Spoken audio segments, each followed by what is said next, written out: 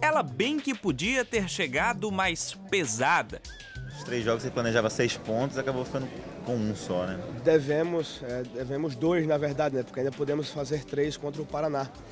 É, dois mais os três que a gente não conseguiu vencer o Joinville em casa, isso acaba pesando. Se a gente tivesse cinco pontos a mais, a gente estava bem próximo, né? Com um ponto a, abaixo da.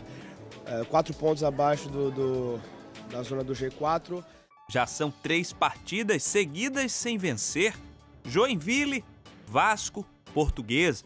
Ô William Alves, isso aí tá incomodando? É, a gente não quer voltar àquela fase, né? Desde que o Dado chegou a gente tinha conseguido boas sequências, mas saímos dois jogos fora aí, voltamos só com um ponto, não era o que a gente esperava. Então, se é para fazer bonito, tá mais que na hora disso acontecer. Tá faltando mais pegada, né? Se o meio de campo pegar mais ali, né? E o ataque fazer aquele golzinho que tá precisando, né?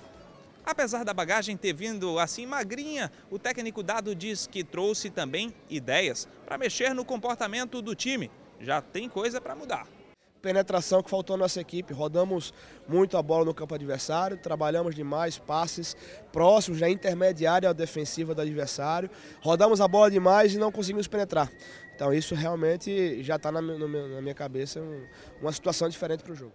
Será essa a fórmula? Dá para sonhar ainda com acesso? Bom, a gente não está fazendo muita matemática não, a gente está pensando jogo a jogo, a gente tem um jogo importante é, contra o Paraná sexta-feira, a gente sabe que tem que ganhar e jogo a jogo a gente vai vendo, conforme vai vindo os resultados da tabela, a gente vai cada vez mais sonhando com, com, com a subida para a Série A, mas a gente está indo passo a passo.